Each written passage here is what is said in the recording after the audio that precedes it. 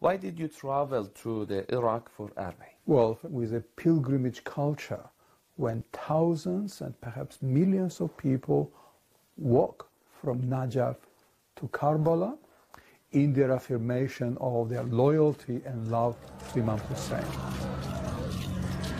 There was a little boy on the way from Najaf to, to Karbala who did not have much to offer. He brought mud. So the people who were walking on the sun could, could cover their faces with mud. So this expression of kindness has been the most touching. آنطور که آقای مالخاز میگوید مهمترین انگیزه او برای زیارت امام حسین علیه السلام از انجیل گرفته شده In the Bible, there is no mentioning of Hussein, no name is mentioned Hussein.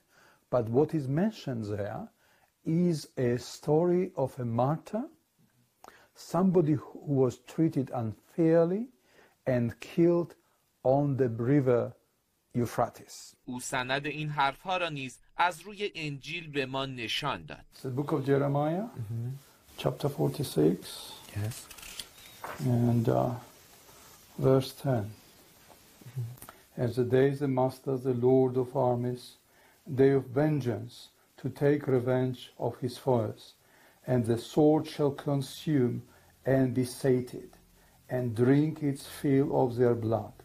For a sacrifice has the master, Lord of armies, in the land of the north by the river Euphrates.